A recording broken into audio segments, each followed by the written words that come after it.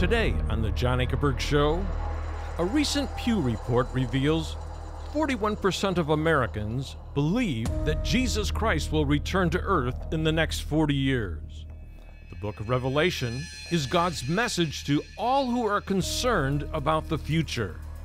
It contains Jesus Christ's last words to the church on such important doctrines as what events begin to happen on earth after the rapture, what happens at the second coming, the final judgment, and reveals what will ultimately happen to Satan, to the Antichrist, and to those who follow false religions.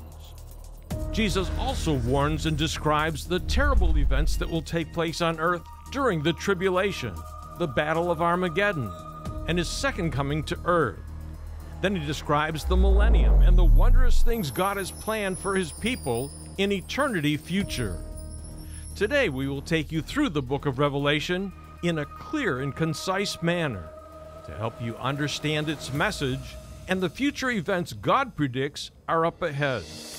My guest is news journalist and prophecy scholar Dr. Jimmy DeYoung, who has reported from Jerusalem since 1993 and through the years interviewed every Israeli prime minister. Join us for this special edition of the John Ankerberg Show. Welcome to our program. I'm John Ankerberg, and as you've heard, my guest is Dr. Jimmy DeYoung. He's a prophecy scholar.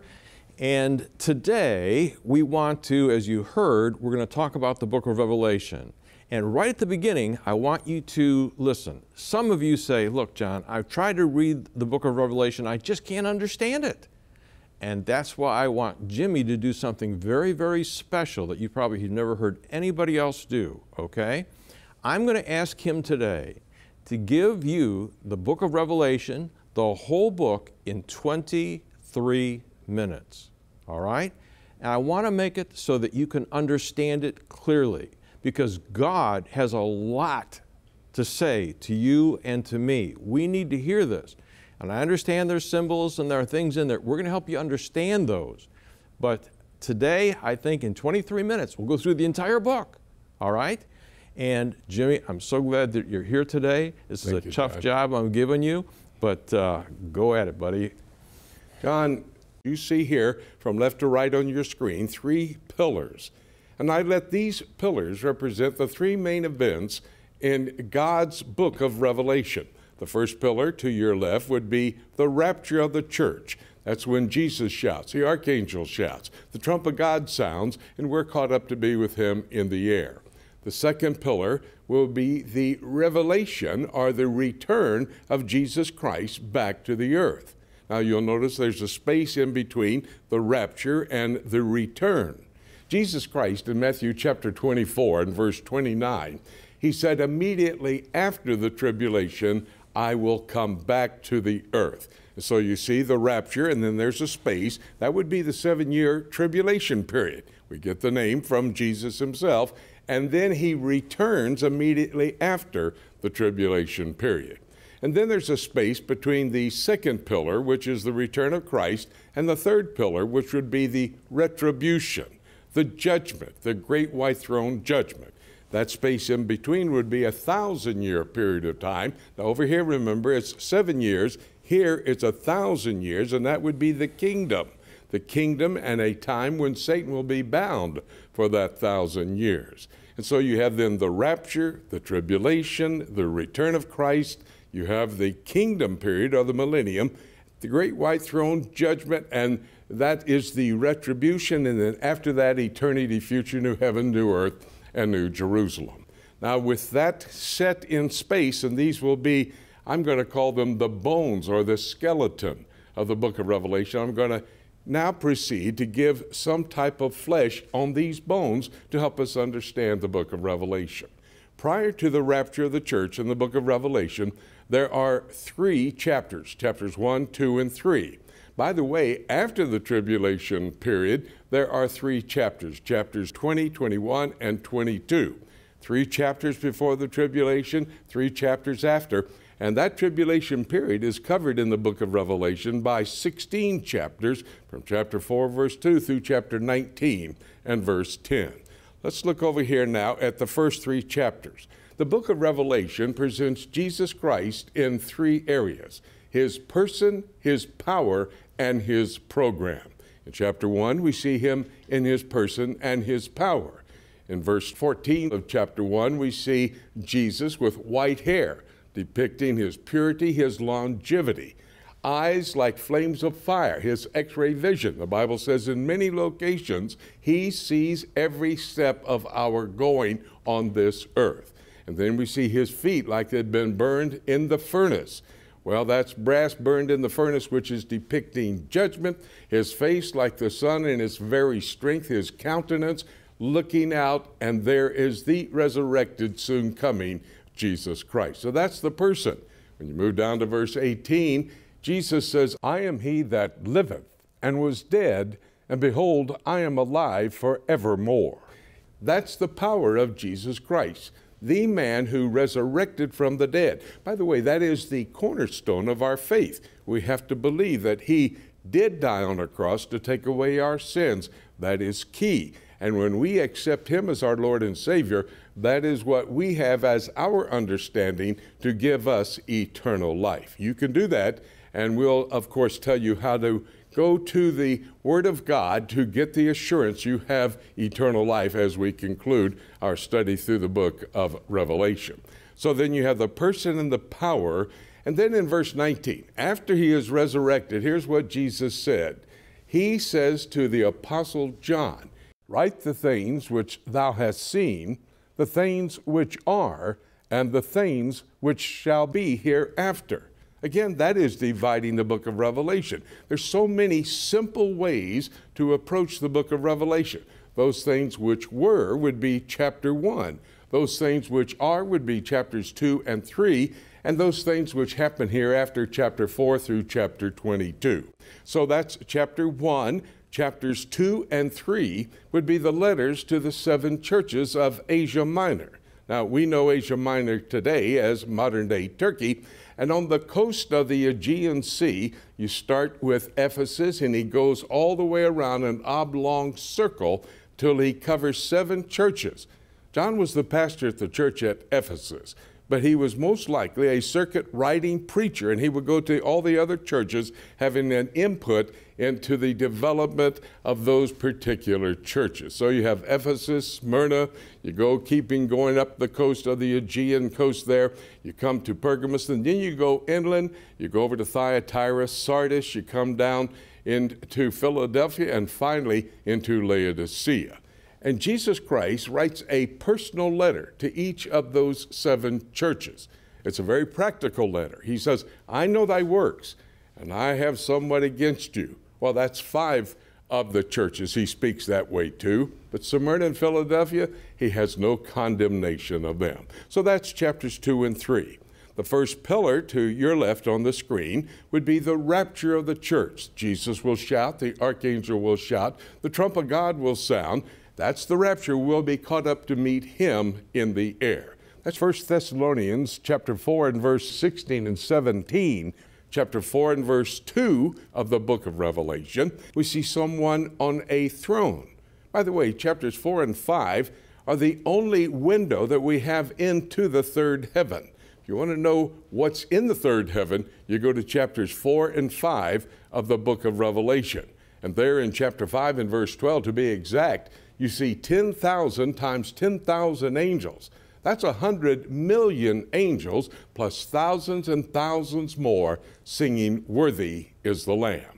And then as we move into the tribulation period, there after the rapture and before we get over to the return, at the beginning of that seven year tribulation period in chapter 6, we see the beginning of three sets of seven judgments. There's seven seal judgments, seven trumpet judgments, and seven vial judgments. In chapter 6 and then chapter 8, verse 1, you have the seven seal judgments. In chapters 8, 9, and 11, you have the seven trumpet judgments. And in chapter 16, you have the last of those seven judgments, which will basically take place in about a six month period of time because they are so intense on the people on the earth. The Lord says, I can't continue any longer, or all of the people will disappear. And by the way, that happens the six months prior to the return of Jesus Christ, which is your second pillar. Also, in the first three and a half years of the tribulation period, you're going to have two witnesses that will be on the Temple Mount in the city of Jerusalem. These two witnesses are going to be preaching the gospel of the kingdom that Jesus Christ is coming, and in order to go with him into the kingdom period, you're going to have to receive him as Lord and Savior. At the end of that three and a half years, 1260 days, it refers to there in chapter 11, starting in verse 3 and following in the book of Revelation, these two witnesses are going to be killed. They're going to lay in the streets of Jerusalem for three and a half days, which time they miraculously will raise from the dead. Now, this is going to startle the earth because they will have seen these two witnesses laying in the streets of Jerusalem for this period of time. They will have parties, they will celebrate the death of these two witnesses. By the way, the first results of the teaching of the gospel of the kingdom will be 144,000 male virgin Jews that will come to know Jesus Christ as Lord and Savior. The male part comes from chapter 14 of Revelation, and the 144,000 listed there in chapter 7, verses 4 through 8. In fact, they're going to have a ministry throughout the entire seven year period of time of going forth to preach the gospel of the kingdom to everybody on earth. Matthew chapter 24, verse 14 says, And the gospel of the kingdom shall be preached to all the world, and then the end will come. And the Lord's going to protect them in that entire seven year period of time. Well, after the resurrection of these two witnesses there in Jerusalem, there's going to be a battle in the heavenlies. Michael, the archangel, he's the commander in chief of the good angels in the heavenlies, is going to take on Satan, that old dragon, the devil. It says there in chapter 12 and verse 9, it's going to have all the evil angels join with him, and in the heavenlies there will be a major angelical battle that's going to take place. At that point in time, Michael and the good angels will cast Satan and the evil angels down to the earth.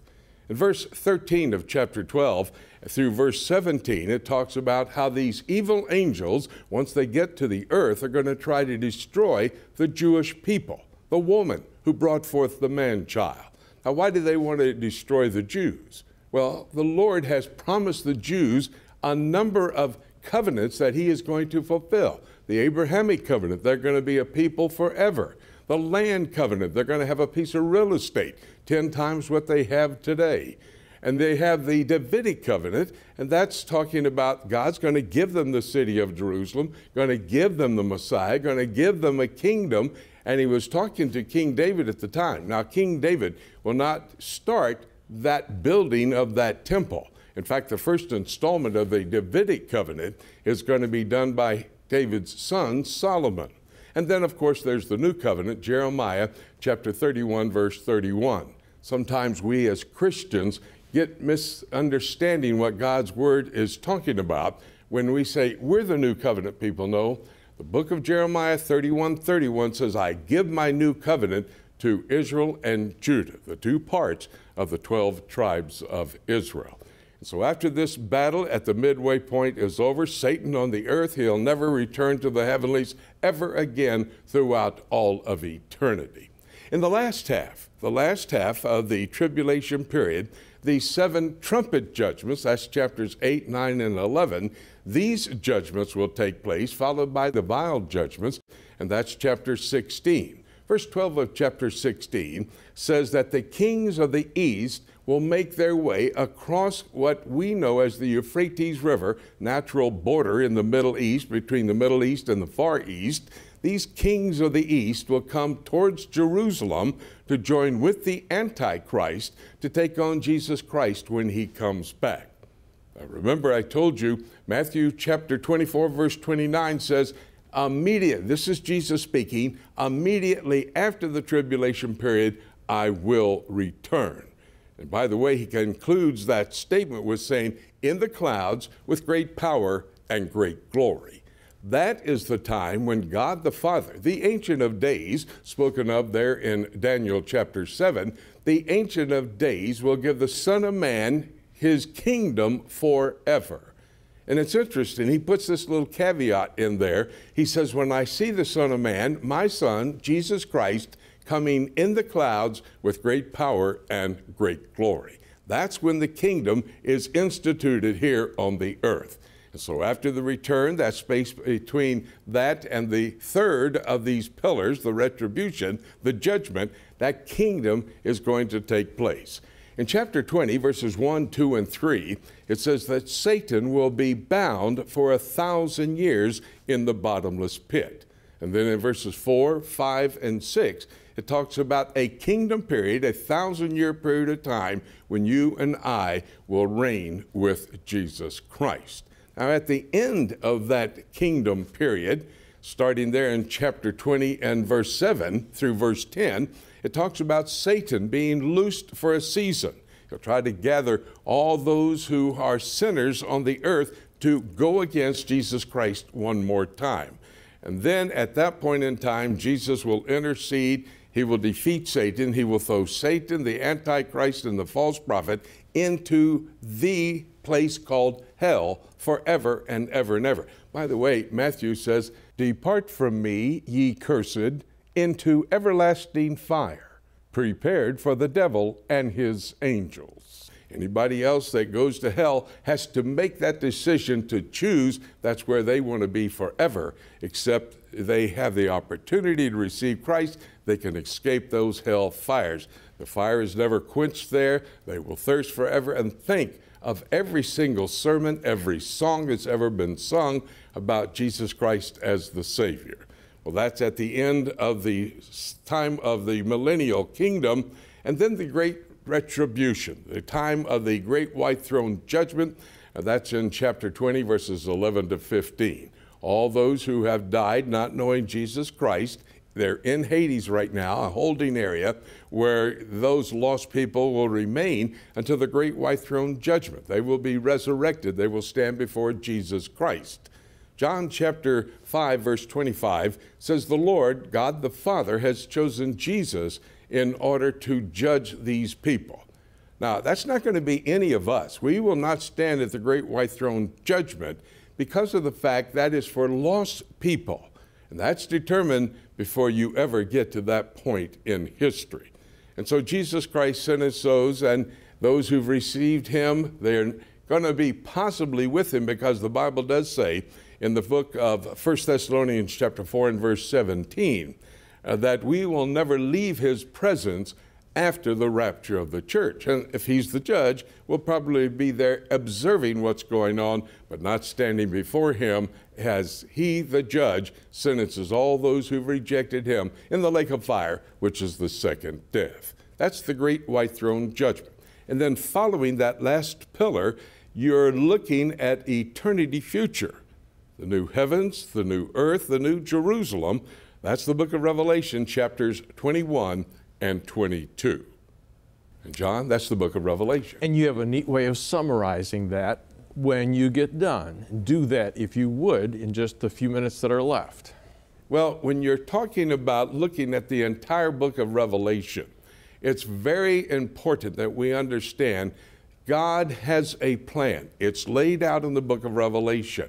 And when you look at what you're looking at here in front of you and you remember some of the words that I gave you at that time, and by the way, I'm, I'm sure it's going to be a bit difficult to remember everything I had to say. So, John, on future programs, we should probably rehearse some that we've said and we will. then give them a little bit more information along the way. But the book of Revelation, the rapture, if you know Jesus Christ as Lord and Savior, you're going to miss that tribulation period. Praise God. You're going to be taken out of here. You're going to be in the heavenlies with Him. And during that seven year period of time in the heavenlies, once we've gone there at the rapture of the church, we're going to be marrying Jesus Christ. There's going to be a celebration. Chapter 19, verses 7, 8, and 9, it's called the marriage of the church to the groom, Jesus Christ the marriage supper of the Lamb. This is an exciting time when all the Old Testament saints come and visit. in order to be able to be married to Jesus Christ and go to that marriage supper of the Lamb, the celebration after that seven year period of time is unfolding on the earth and all judgment in the heavenlies, we are celebrating with our bridegroom, Jesus Christ. A great time. We'll come back to the earth, and that's when the kingdom goes into play, and that's when you and I will rule and reign with Jesus Christ forever. Yeah talk about where the Antichrist, the false prophet, and the battle of Armageddon may come in before we leave.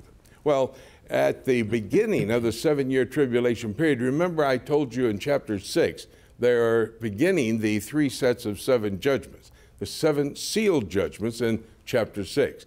Chapter 6, verses 1 and 2, talks about a man on a white horse. He has a crown on his head, he has a bow in his hand without any arrows, and he goes forth across the earth. Now, many think that may be Jesus Christ because they know when he comes back to the earth, chapter 19, verse 11 and following, he gets on a white horse to come back. Verse 14, those of us who have just married Jesus Christ had our seven year celebration. We'll mount white horses coming back with him. And by the way, that is the time when Jesus gets the title King of Kings and Lord of Lords. When you look at verse 16 of chapter 19, on his vesture, on his thigh, King of Kings and Lord of Lords. God the Father is going to give him that. But the Antichrist will be in that first sealed judgment, the man on the white horse. And then at the midway point of the tribulation, halfway through that seven year period of time, the false prophet chapter 13 of the book of Revelation, will appear to lift up the Antichrist in everything he does. Now, you don't want to miss that program. It's very important to understand what's going to happen and what the rest of the world is going to have to do to deal with the Antichrist and his statue there in a temple in the city of Jerusalem, which the Antichrist has desecrated. And then we conclude the seven year period of time. That's when all the nations of the world will gather at Jerusalem. Zechariah chapter 14 and verse 2. And at that point in time, I would say that's the beginning of the campaign. We use that word Battle of Armageddon. It's the campaign of Armageddon. And on a program in the future, we're going to explain all of that. So you have the Antichrist, you have the false prophet appearing at the midway point, you have the campaign of Armageddon just prior to the return of Jesus Christ. Now, folks, you notice that Jimmy didn't use any notes, and that's why we have him here because he's an expert. And the other thing that you noticed is that he quoted a lot of Old Testament texts.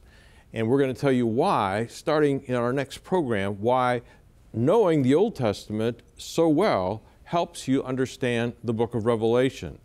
But I love the fact that almost all through what he said, we were talking about Jesus Christ doing this, Jesus Christ doing this, Jesus Christ doing that. And that's why it's the revelation of Jesus Christ. What is Jesus Christ going to be doing up ahead? And where do you fit in? And where do your neighbors fit in? Where does the world fit in? And we're going to be talking about all of that. We're going to be doing eight programs we just did the first one, so we got seven more to do. All right? Next week, we're going to take the person and power of Jesus Christ as revealed in the first chapter and in the second and third chapter where he writes the letters to the churches. What do we learn? And I don't want you to miss it because it's not just for the seven churches that were there, but it also applies to all of the churches across the earth today. And you're one of them if you're a Christian all right? You're in one of those churches. What does Jesus Christ say about you and your church? So I'm so glad you joined us today. And Jimmy, thanks for all of this information. Folks, I hope that you'll join us next week. Stay tuned for a special word from John. Now, thank you for joining me today.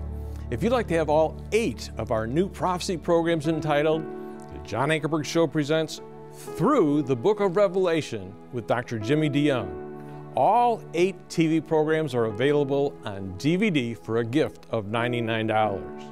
We also include two new study guides that complement each of the eight television programs and will be helpful for both your personal study or for your small group study and classes. This information will help you better understand the book of Revelation and live out its principles in your life. Program 1 is special. Dr. Jimmy DeYoung gives a complete overview of the entire 22 chapters in the book of Revelation in a single program.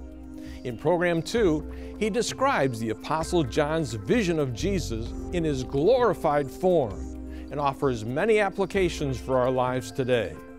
In Program 3, we discuss the seven churches in Revelation 2 and 3. Each church existed as a local congregation in the first century with their own strengths and weaknesses. Jesus warns the churches today that have some of those same weaknesses. In program four, Dr. DeYoung talks about Revelation chapter 4 and the beginning of the heavenly visions the Apostle John experiences. We'll identify aspects of the 24 elders and highlight the rapture and discuss the various views people have of the tribulation. In part two of our series, we reveal the events of the tribulation period, including the 144,000 evangelists, the two witnesses, the Antichrist, and the mark of the beast. So, in program five, we discuss the revived Roman Empire that will arise during the tribulation period. Program 6 highlights the three sets of judgments, namely the sealed judgments, the trumpet judgments, and the vial judgments, that will take place during the tribulation, bringing vast destruction upon the earth. In Program 7, we feature Christ's return to earth at the end of the seven year tribulation period when he defeats his enemies at the Battle of Armageddon and sets up his 1,000 year millennial kingdom. And in Program 8, we conclude with Satan's final rebellion and defeat at the end of the millennial kingdom, God's final judgment of all unbelievers, and describes the believer's ultimate home and eternity future when God provides a beautiful new heaven, new earth, and a new Jerusalem. To order all eight of these wonderful TV programs and the two study guides, you may call us right now at 1 800 805 3030. That's 1 800 805 3030. Write it down.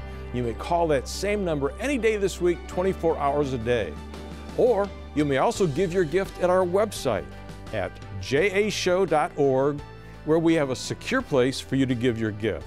Our website again is jashow.org. And those of you who live in Canada may call us at 1 866 746 5803.